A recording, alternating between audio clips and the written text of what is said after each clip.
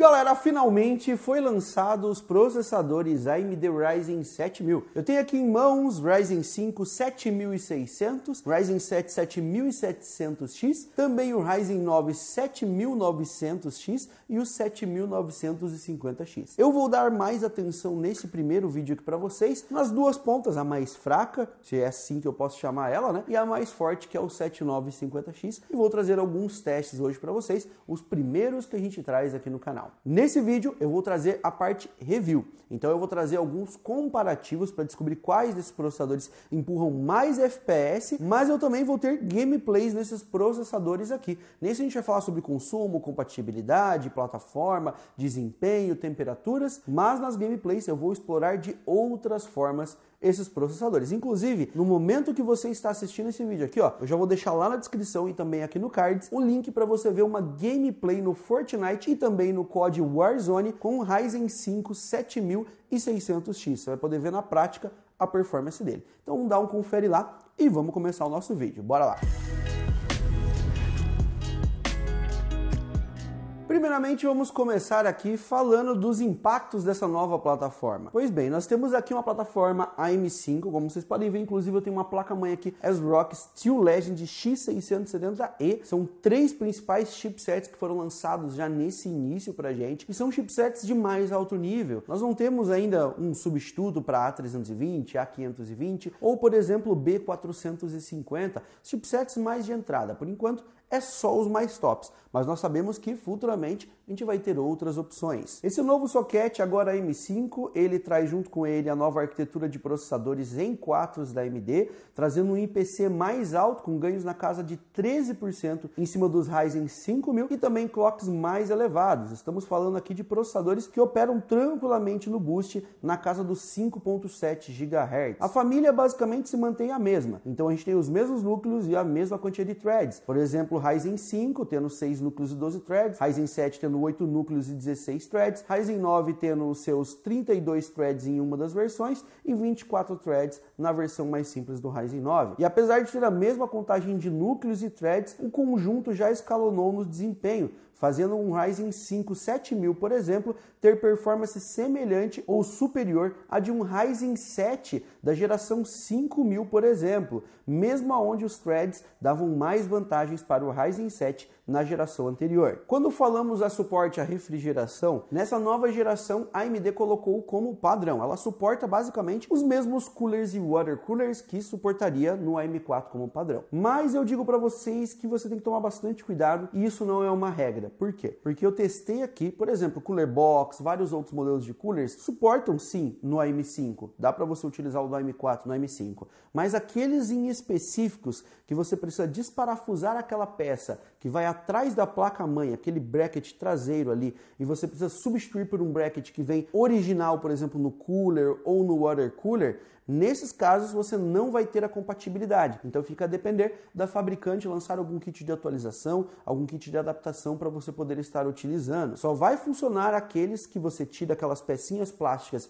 de cima do soquete e você não precisa tirar aquela peça preta de metal que vai atrás do soquete. Se você precisar tirar aquela peça preta, você não vai conseguir fazer a instalação, porque ela vem colada na placa-mãe e também parafusada no próprio soquete que agora é LGA e não PGA. Então os pinos são todos na placa-mãe e não no processador. Um outro ponto que vai mudar na hora de você montar o seu setup e na instalação também é que agora as memórias são do tipo DDR5. Não existe suporte a DDR4, não vai existir placa-mãe híbrida, é só DDR5. As memórias são de maior frequência, maiores capacidades e não é o mesmo socket. Você vai encaixar a memória e não é a mesma coisa. É só DDR5 que você vai utilizar nos Ryzen 7000. Um outro ponto interessante que veio junto com as memórias é o AMD Expo. Esse sistema novo Expo ele é concorrente do XMP da Intel.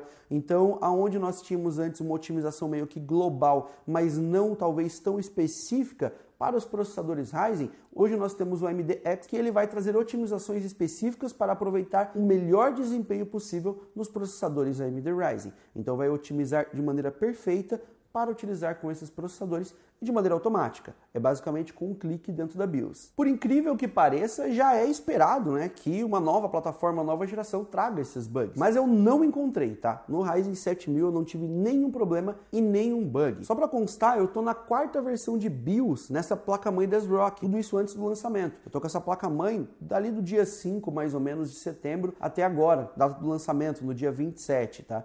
Então, já testei várias versões de BIOS e nenhuma delas ali corrigiu algum problema que eu tive em. Então, todas elas já estavam estáveis desde a primeira versão. Chegou a placa-mãe, liguei o kit, funcionou tudo perfeitamente. Bem diferente do que a gente viu no Ryzen 1000, por exemplo, quando atualizou a geração dos FX para o Ryzen 1000, do M3 para o M4, que teve muito problema de compatibilidade de memória, problema de latência, frequências.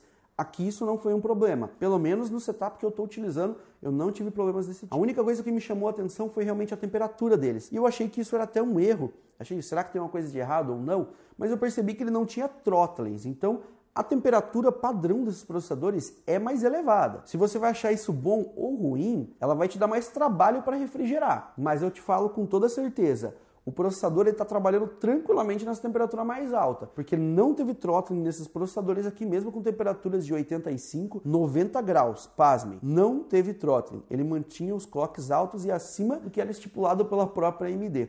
Você vai ter que lutar muito aí para poder refrigerar todos esses processadores aqui, né?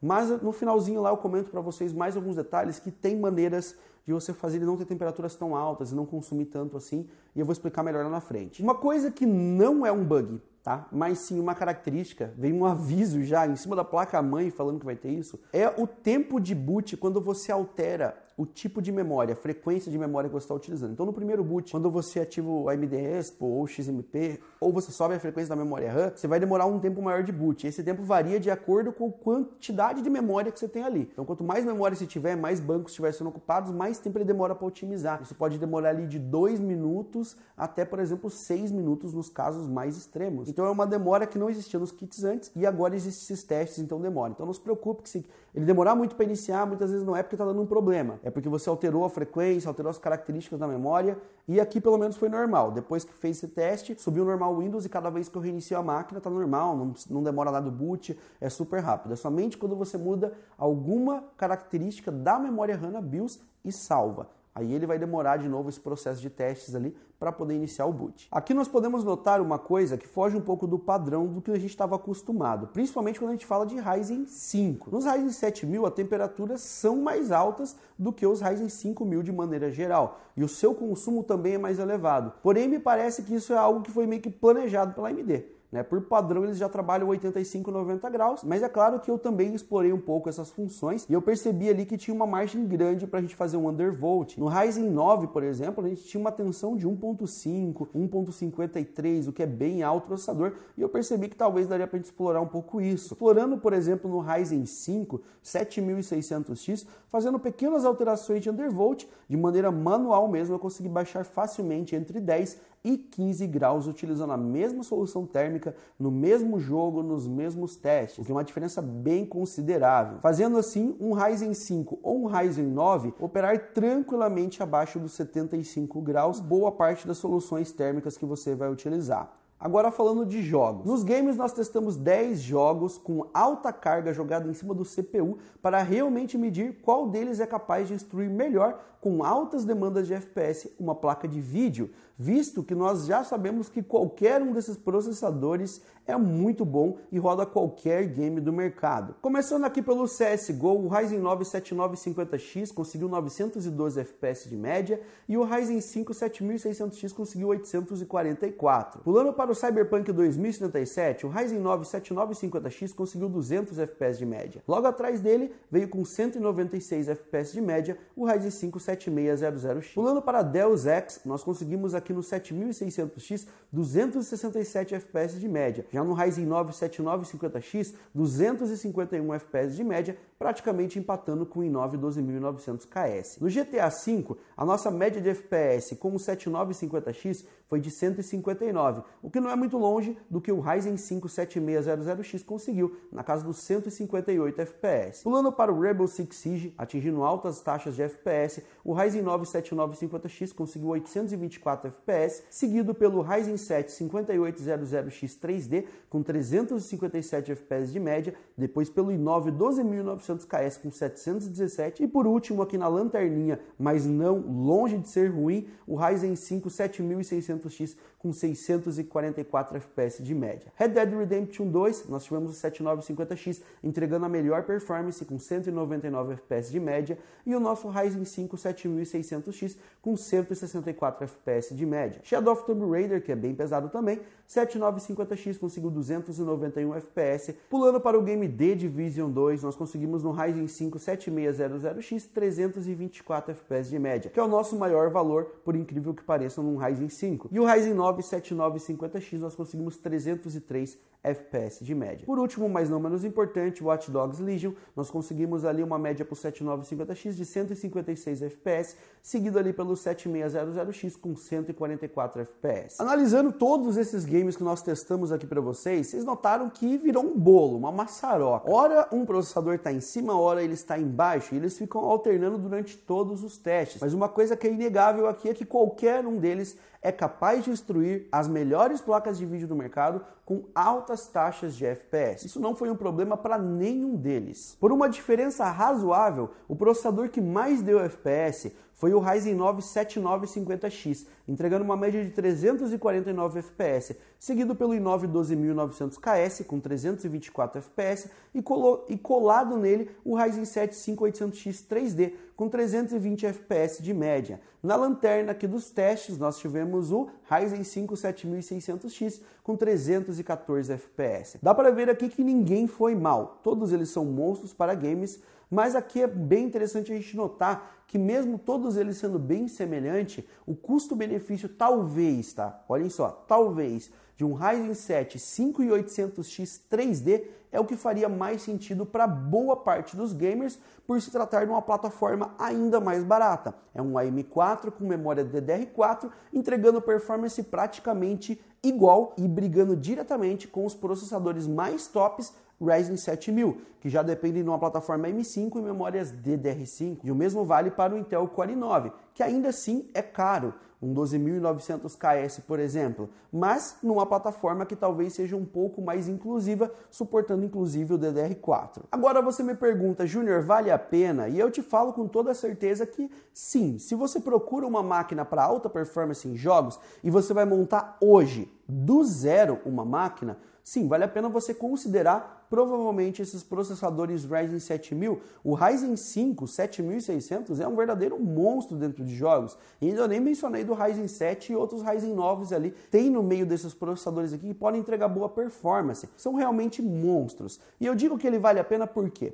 Porque se você busca alta performance dentro de jogos, você já está disposto a gastar um pouco mais em uma plataforma. E se você vai procurar uma plataforma, por exemplo, da Intel com 12.900 KS, no atual momento agora, você provavelmente vai gastar algo semelhante ao que você gastaria num Ryzen 7000. Então, procurando uma plataforma para games, talvez seria mais interessante você estar utilizando aqui os processadores Ryzen 7000 por entregar mais clock, maneiras mais elevadas e talvez ter mais margem para você explorar. Mas não que o i9 não seja boa opção. Inclusive, ele é uma ótima opção e eu super consideraria ele também. Agora, se você está com um pouco menos de grana e você precisa empurrar muito FPS dentro de jogos, aí vale a pena você dar uma olhadinha ali, ó, visitar o nosso recém-lançado também Ryzen 7 5800X 3D, que por causa do 3D V-Cache consegue praticamente empatar aqui com os Ryzen 7000 dentro de jogos. Ele pode perder em multitarefas, mas se o seu foco é jogo, ele vai empurrar muito FPS. E você pode pôr numa B450, colocar numa memória DDR4. Mas eu vou te falar, tá? De longe aqui, os Ryzen 7000 hoje são o melhor custo-benefício. Nós vemos um Ryzen 5 empurrar o que um Ryzen 7 da geração anterior empurrava dentro de jogos, inclusive passar em vários dos casos, beleza? Esse foi o nosso primeiro teste aqui com os processadores Ryzen 7000. Já deu para a gente fazer uma primeira explorada nesse novo universo dos Ryzen. Eu sei que em breve provavelmente vai ter processadores da Intel chegando para a gente comparar com eles também. É, por enquanto, a gente vai lançar esse vídeo aqui e já vai ter mais algumas gameplays e alguns outros testes que vocês vão vendo no canal. E já dá para vocês matarem a curiosidade sobre os Ryzen 7000. Se já tiver disponível qualquer um desses processadores ou placa-mãe, memória RAM no site da Pichal, vou deixar a configuração completa na descrição e também os links para vocês poderem comprar. Agora eu quero saber de vocês, o que você achou desses processadores Ryzen 7000? Comenta lá embaixo na descrição e vamos alimentar aquela discussão saudável lá nos comentários. Até o próximo vídeo, galera. Fui!